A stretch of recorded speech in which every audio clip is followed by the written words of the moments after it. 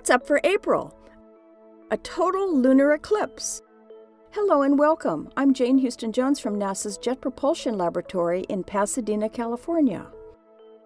On April 4th, be on the lookout for a total lunar eclipse. A lunar eclipse takes place on the night of a full moon when the moon is on the opposite side of Earth from the Sun and the moon passes into Earth's shadow.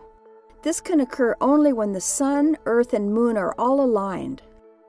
An eclipse begins when the moon first moves into the less dense part of Earth's shadow, what astronomers call the penumbra, then into the deepest shadow, or umbra.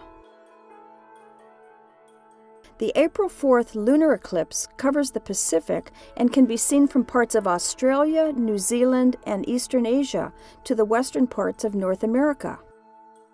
Here are the times for the various stages of the lunar eclipse on the west coast of the United States.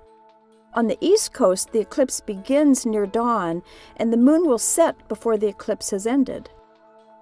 The total eclipse, the brief phase when the entire surface of the moon is obscured, will last about 12 minutes. For those on the west coast, the eclipse will end at 6:45 in the morning. Later in April, you can enjoy other ways of seeing the moon.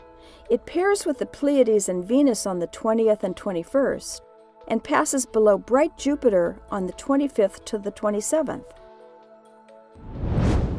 Another sky treat this month is the Lyrid meteor shower, which peaks in the early morning of April 23rd.